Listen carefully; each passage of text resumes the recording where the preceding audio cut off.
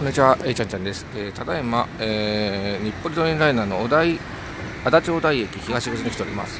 ちょっとここですね、えーと、土手の方にちょっと向かいたいと思います。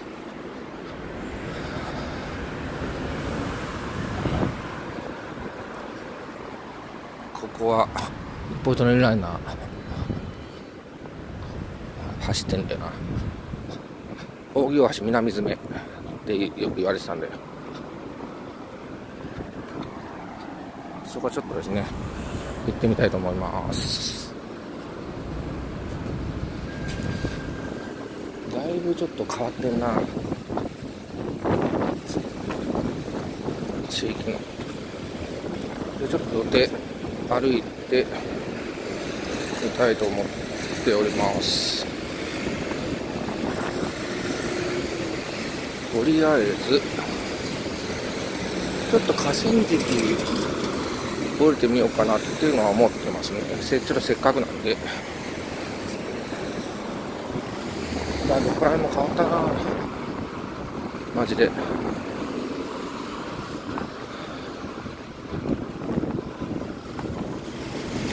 景色が一望というかしなかったのだからな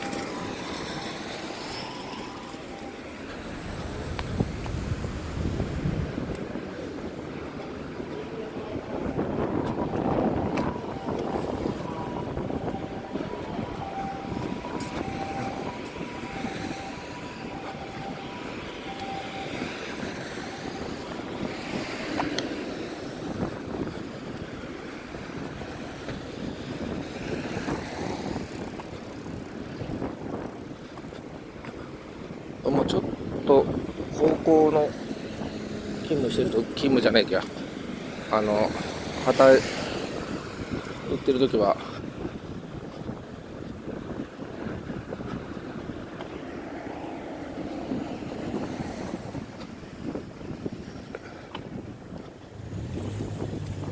こっちで歩いてたんだけどね。まあちょっとせっかくなんでね。ちょっと散策じゃないけど。島中ホームス。こんなのができてるな。モスバーガーラーメン。ラーメンあんじゃん。モスバーガーも食いてえな。ちょっとまあその前にちょっと河川敷ですね。ちょっと行きたいと思います。王子駅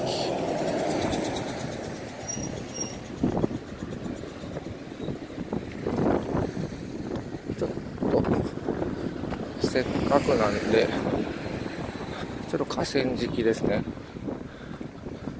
ちょっと行きたいなと思っております。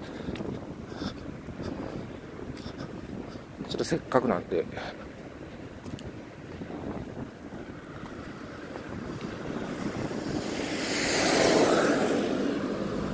でちょっと渡ります。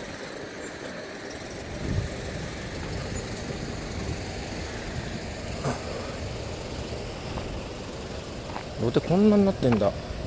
これ昔こんなんなかったからな。こういうもう本当にもう石のコンクリートの階段だったからな。変わったな。まあちょっとせっかくだからね。ちょっと来てみて。よいしょ。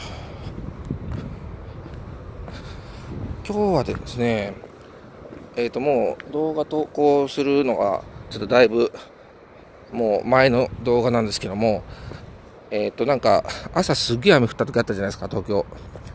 その時の、えっ、と、お昼ぐらいです。あの時なんかもうすごい爆弾低気圧が通った時の映像なんですけども、まあ一応こんな感じで、ちょっと逆光になってると思うんですけども、光家具、で、向こうにケーズ電機、そこの島中ホームズと、で、ホンダがあるとこですね。で、大暮足の河川敷でございます。まあ、河川敷で、なんか昔の思い出としては、某高校行ってる時、その、ところ高校からずっと河川敷歩いて帰ったこともあるな。懐かしいな。そういうこともあります。で向こうが甲北橋があったりとかしてますね。うん。なかなか夏い夏いっていうか懐かしい地域ですね。まあそんなにこっちに愛着はあるわけじゃないんですけどもまあ結構通勤で来た時ありますね。で昔は飛ばすがめちゃくちゃあの大行橋のとこすごい混んでてもう歩いた方が早くて大行橋から歩いてそこからずっとなんつうんだろうまっすぐ行ってもうバス乗らないでここの大行橋南水まで歩いてそこから南水から飛ばすまた乗ったっていうことありましたね。夏いな。まあそんな感じで今5分は経過しましたけどもまた戻りました。あ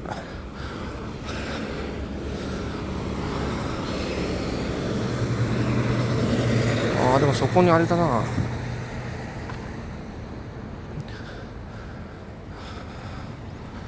今時間が11時だけど11時でうわラーメンかあれかあのモスバーガー。ちょっと食べたい気もするけどな。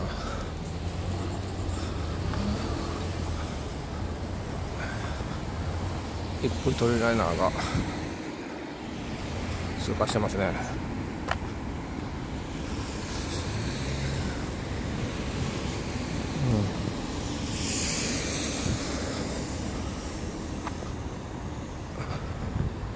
全くこんな感じじゃなかったんだよな昔は。昔の夏い昔の方が良かったなあの時代。なんか全然いいわ。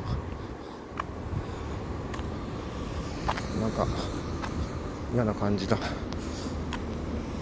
でも土手のなんかあれだな懐かしいなこの草の匂いというか。まだ冬だからまああれだけどなんかバッタとか小学校の時とか捕まえた時のなんか匂いがするな。なんか小老バッタだっけ？トムさんバッタとかなんか捕まえたな。それでまあカマキリとかもいて。それバッタとかをカマキリに昔の子供だから残酷でね。もうバッタをカマキリにもう挟ませたりとかあとはアリンコをクモの巣に引っ掛けてそのあの糸だらけに刺したりとか残酷なこと結構してたよな。残虐な小学生の時代は。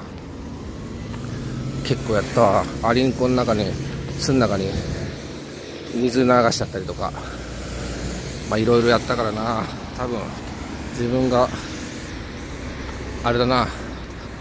天国に召された時は天国に行けないで地獄行くな。多分。結構虫思いっきりなんかもう残虐なことしてるからな。でこっちがまあえっ、ー、とえー、甲府橋。ここは大行橋になってますね。まあまあちょっとこの二十歳お台のところをぐるっていうわけじゃないですけどもまあちょっと歩いたという形ですねまあ大したことはしてないですけども一応歩いただけでございます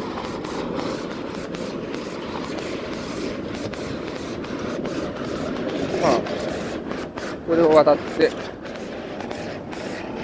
帰りますけどね。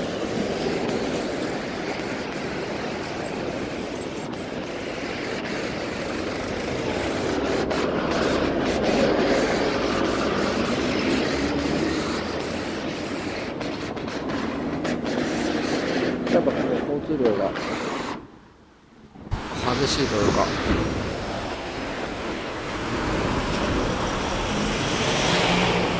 懐かしいな土手が。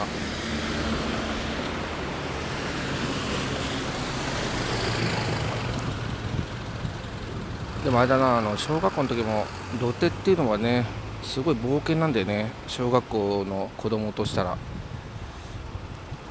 まあ普通普通ってわけじゃないけど。小学校の中学生の時はなんかあそこの河川敷で野球やった記憶あるな。中1の時に。小学校の時はなんかね結構なんつうんだろう。やるのにねあのこあの土手に行くのにも勇気がいるんだよ。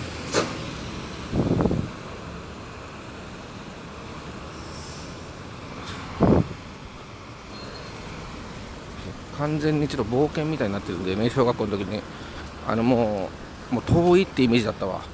土手に来るってことは。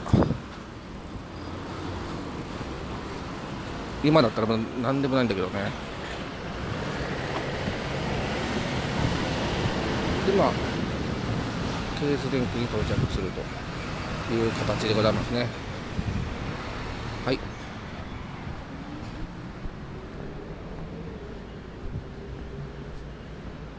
でこれで足立小田駅に戻ってきましたは